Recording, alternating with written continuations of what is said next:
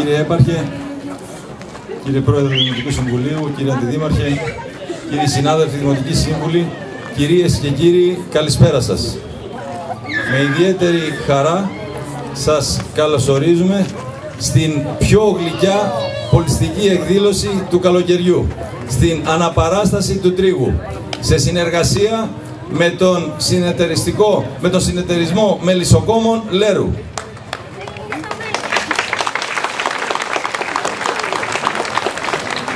Ευχαριστώ όλους εσάς που παραβρίστεστε σήμερα στην πολύ αυτή ωραία αναπαράσταση του τρίγου, το ξεμέλισμα όπως συνηθίζουμε να λέμε.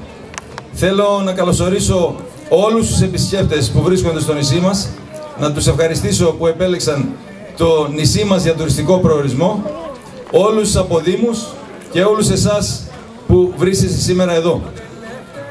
Να ευχαριστήσω τον πρόεδρο του Μελισσοκομικού Συνεταιρισμού, συμμαθητή μου κύριο Χριστόδουλο Γρήλη, τα μέλη του συνεταιρισμού, τις οικογένειές τους που σήμερα μας προσφέρουν μία ξεχωριστή βραδιά.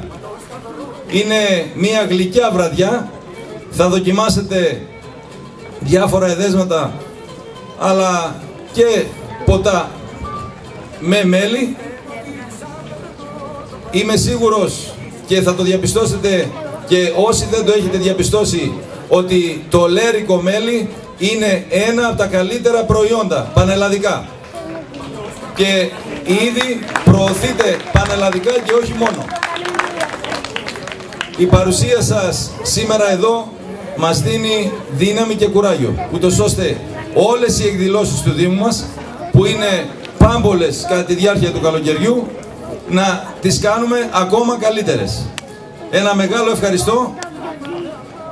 Εύχομαι καλή Παναγία σε όλους, δύναμη, κουράγιο και πάντα γλυκές επιτυχίες σαν την απόψινή.